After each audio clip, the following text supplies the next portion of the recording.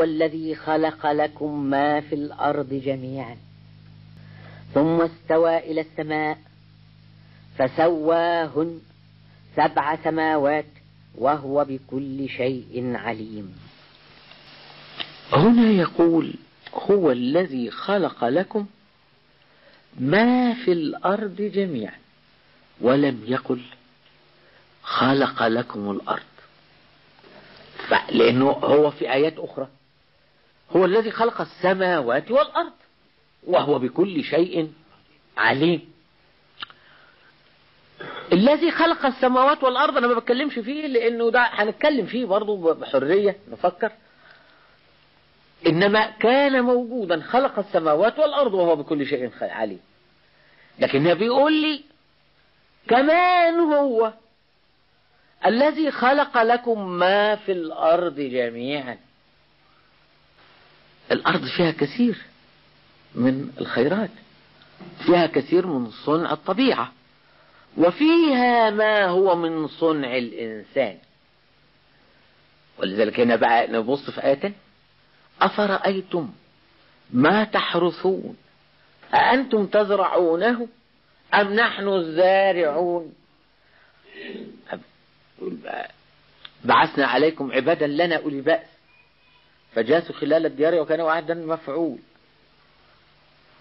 ثم رددنا لكم الكرة عليه. وأمددناكم إلى آخر. وبعدين. وإن عدتم عدنا. إذا إذا الله خلقكم وما تعملون. يبقى يبقى الإنسان فيما يعمل خالقا. بقدرة الله إنما هو فعل الله وهو في هذا يده المنبسطة بالفعل. أفرأيتم ما تمنون؟ أأنتم تخلقونه أم نحن الخالقون؟ يبقى خلق لكم ما في الأرض جميعا. يبقى هنا بيشير وإذا قلنا إنه ما ظهر الله في شيء مثل ظهوره في الإنسان. فإنما يريد أن يشير إلى مرحلة لحياة الإنسانية والبشرية على هذه الأرض. في زمان قد يكون مجهولا لوعينا ولتاريخنا ولإدراكنا توارثناه من عصور مجهولة. عمل ووجد وثبت وتجدد. قال بقى إذا قالوا يبقى هذا اللي أنا عاوز أقول. إنه لما بيقول هو الذي خلق لكم يبقى أضاف فعل العباد في تاريخ ما قبل إدراك الإنسان لتاريخه وأنه فعل في الأرض فعلا. انتفع به السلف من فعل انتفع به الخلف من فعل السلف. أن الله أضاف هذا الفعل إلى نفسه. وأن كل ما يتواجد على الأرض من فعل للإنسان سابق إنما هو من فعل الله لأن الله أضاف الإنسان إلى نفسه. وعشان كده قال ما في الأرض؟ جميعا. بساتين نخيل حدائق شقينا ترع نقنا مصارف أخذنا أخشاب بنينا بها بيوت أراضي عملنا بها قصور أحجار عملنا بها قصور.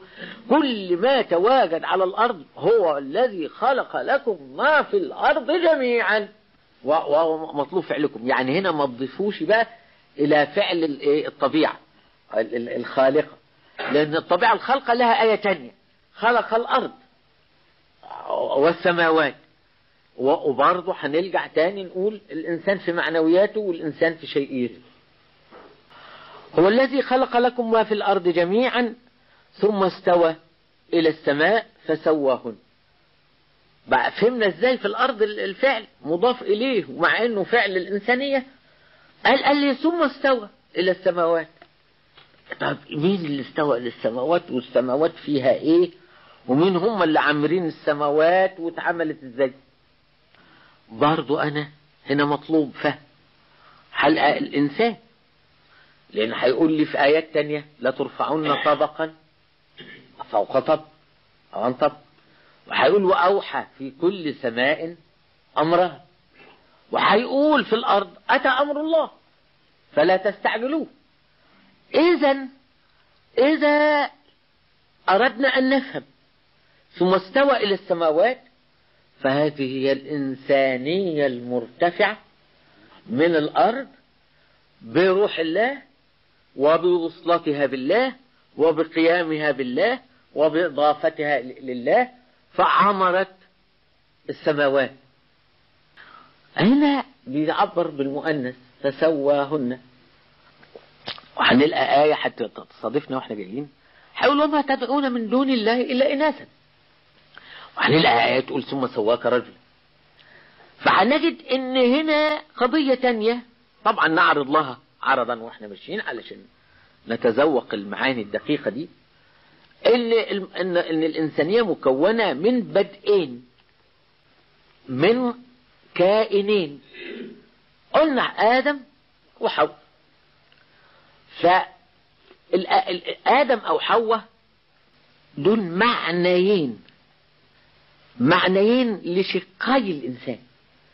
الإنسان في معاني السيادة والربوبية والإنسان في معاني المسودة والعبودية. وهنا الرسول يقول لو كنت آمرا إنسانا أن يسجد لإنسان لأمرت الزوجة أن تسجد لزوجها. لأن الزوجة تمثل معاني العبودية والرجل يمثل معاني الربوبية. ولذلك لما بيخاطب يقول كلكم راع وكلكم مسؤول عن رعيته وبعدين هيقول ابدأ بنفسك ثم بمن تعول من زوج وولد. يبقى الإنسان ثم سوك رجلا بيمثل معاني الربوبية الله من ورائه محيط وهو وجه الله وكل من عليها فان. ويبقى وجه الله اللي هو وجه الإنسان لأن الله من وراءه محيط. ما حرص هو؟ على دوام رباطه بمن هو أقرب إليه من حبل الوريد. وهنا تمثل المرأة معاني العبودية وهنا لما قال فسواهن سبع سماوات قصد أن كل من في السماوات آتيه في معاني العبودية. ولذا هيقول إن كل من في السماوات والأرض إلا آتي الرحمن عبدا لأن العبد هيقول ثم سواك رجلا. هيخليه خليفة.